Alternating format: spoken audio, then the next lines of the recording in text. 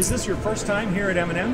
Yeah. Yeah. Yes. So is there anything specific that you're interested in seeing when you're here? I'm really interested in seeing all the new tech that's available inside the centers. So are there any specific instruments that you're interested in? No, but I've heard that some people like bring actual electron microscopes here, and I'm curious to see if that's actually there. For me, I was very interested for ptychography presented by uh, Yeah, David yeah, yeah. Muller.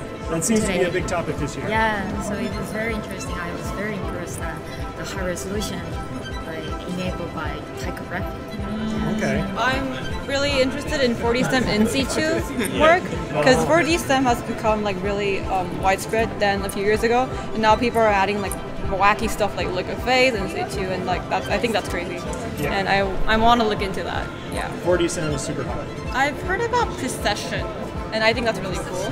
Precession. Precession. Yes. Okay. What sort of technique is that? Precession is where you like tilt the sample a little bit and you like put that all all that data into one to create this one really beautiful diffraction image.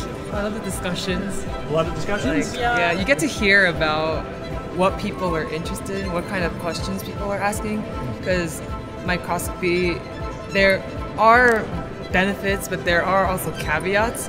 And so, like, where is the line where we can get interpretable results? And that's the discussion that we're all having. I think M&M really distinguishes itself from other conferences because we- we're like microscopists, right? So we don't get this huge group of microscopists in other um, conferences, and I think that makes it really unique. And just seeing all the microscopy happening is really cool. What about more coffee? more coffee breaks. Yeah, more coffee, more snacks, More coffee. More snacks. Ah,